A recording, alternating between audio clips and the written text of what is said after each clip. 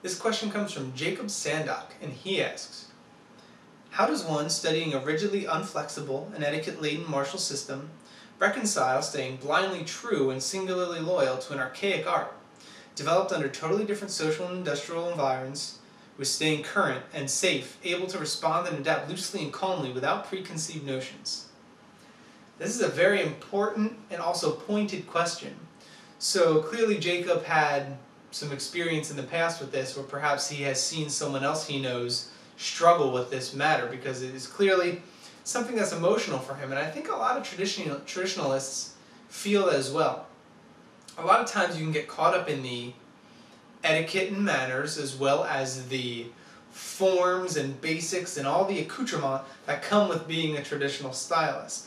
And a lot of times you can become so focused on that, especially if ranking is involved, that you can forget altogether how in any way this stuff can be effective. And so my first little tidbit uh, jumping into this topic is to say you have to break through the traditional and get to the classical. So when we think of traditional, we often think of, uh, you know, perhaps the modern schools that are one particular ryu or style. You might also consider the wartime clans of ancient Japan who would purposefully keep secrets hidden from one another so that their techniques would be more effective on the battlefield or perhaps in a duel where one cut could mean life or death. Now of course that's less relevant these days, which is perhaps what the questioner is alluding to. Interestingly, if you look back in the history of other styles, you don't see the same exclusionary tactics. So take karate for example. We look at some of the individuals who are considered the forefathers. Choshin Chibana for one, Eizo Shimabukuro another, and Eizo Shimabukuro is still alive, by the way, and the founder of my style, Shigeru Nakamura, as another. All of these individuals were known for collaboration. They were great friends with other martial artists in their own individual times and, you know, peer groups. So my instructor, Shigeru Nakamura, visited Eizo Shimabukuro on multiple occasions. He was great friends with Zenryo Shimabukuro, and in fact, they created an organization for karate study. That's how the name of my style came about, Okinawa Kempo. It just means the fighting arts of Okinawa, Ryukyu. It was not supposed to be the name of a, of a particular style. It was supposed to be an umbrella name that all the different karateka used in order to come together and talk to each other and hang out and learn. Ultimately, the Ren, Okinawa Kempo Renmei was formed, and the karate that people used to study under Nakamura became known as Okinawa Kempo. And so in time, it became a style of its own. However, that was not the original intent, it just sort of happened that way. The funny thing about all these old collaborations is that these instructors knew that the more new, fresh information that they could bring into their study, the better they would be off. But here's the thing.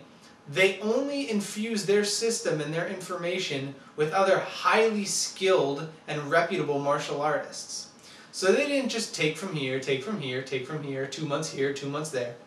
They would really study with other people that they knew had put in the dedication with real instructors before them as they were gaining more information, they were also keeping their style true to what their teachers taught them. Because those textbooks, those ideas, needed to be handed down to the next generation. The ideas and concepts and enlightenment that they got from those forms and those methods needed to be passed on so that way other students could come up with their own forms, not their own forms, but their own enlightenment, their own ideas, and extract what they can from it. So in that way, keeping things the same helped each individual in exploring it in their own way. Now the important part was having a knowledgeable teacher that could help you adapt and, and optimize the style and the martial art for you. So it was a matter of keeping certain things the same as a foundation and then building on top of that in an individualistic way so that your system and your style was as, as effective as possible. You also mentioned the environs of real combat. So there's a little bit of a misconception here. The environs of what a lot of traditional styles or classical styles were based on was life and death combat. And so from a civilian standpoint, Okinawan karate was extremely valuable. All they had was what was in front of them from a very base level. The same things they had are the same things we have. Hands, feet, and mind. So what they used to actually kill and to actually save life is what they passed down to us. Now, I don't know about you, but I don't kill people. So I get that information and that wisdom without actually having to go out and kill anyone. So it's not that what was seen before is no longer applicable to real modern day violence. What you can do is use your traditional art as a foundation and then build things like gun self-defense or use of a taser or use of pepper spray. Build on top of that because the concepts that make the mind sharp and the hands effective and the detection of certain cues that all of the old stylists used to key in on can very much translate into that modern stuff that we want to use. The trick is to not just pull a bunch of things that we see, slap it together, and think that we've got a better foundation than has been handed down for hundreds or perhaps thousands of years. So again, I guess as a final thought, I want to say that being loyal to a style does not necessitate blindness, although on a lot, of occasion, a lot of occasions those two things do seem to come together. Being loyal to a style means keeping it true to as it was passed down to you, and being diligent in creating a full understanding of it within yourself.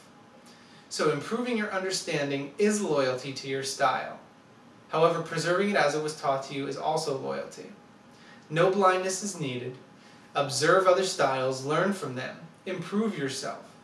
However, keep what you know as your core to be true.